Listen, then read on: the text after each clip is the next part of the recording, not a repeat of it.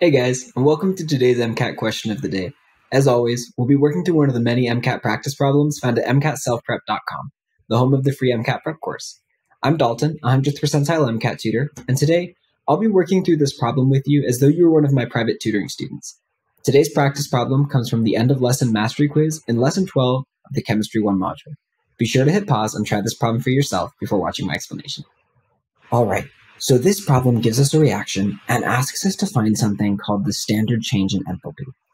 Now, the standard change in enthalpy of any given reaction isn't too tricky to figure out, and I'm going to show you how we can do that. To start, we need to find the standard heat of formation for the products and the reactants. Now, every molecule is going to have a standard heat of formation. First, we want to find the standard heat of formation of each of the molecules that are products. We want to add those standard heats up. Once we do that, we're going to do the same thing with the reactants the molecules that we're starting with. Then we can take the sum of the heats of formation of the products and subtract from that the heats of formation from the reactants. Let me do an easy example with you to show you how it's done, okay? Let's suppose that we have a chemical reaction where we have two molecules of A plus one molecule of B, and those reactants react to form this product. One molecule that's A2B. Let's say that's what's going on here, okay? So we're going to want to start with the products. Let's say we look in the back of a book and we find out that A2B has a standard heat of formation of 3. So we'll start with 3. Okay? Then let's say that we find out that B has a standard heat of formation of 2. Okay. So we're going to subtract the sum of our reactants. We'll take that 2 for B. Then let's say we find out that A has a standard heat of formation of 1. But notice we have two molecules of A. So I'm not just going to write 1 here. I'm going to write 1 times 2 because we have two of them. Then this is pretty simple math here. We can just say 1 times 2 is 2, 2 plus 2 is 4, 3 minus 4 is negative 1. All right, that's an example of how this is done. But I want to point out one important thing that might catch you, okay? It's important to remember that if something is in its elemental form, it's going to have a standard heat of formation of zero. What do I mean by elemental form?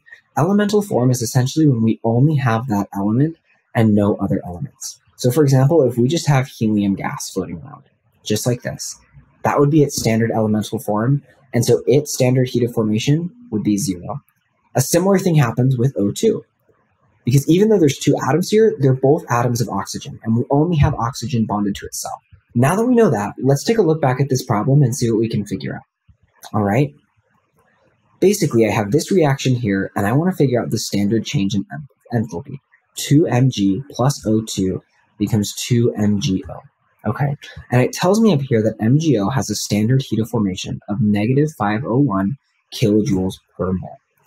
How do I want to go about figuring this out? Well, first, I'm going to start with figuring out the standard heat of formation of my products. MgO is negative 501, but since there's two of them, I'm going to multiply that by 2.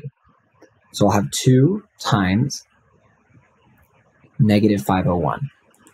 Then I want to subtract the standard heats of formation of my reactants. But notice, like we were talking about before, if something is in its elemental form, it's going to have a standard heat of formation of 0.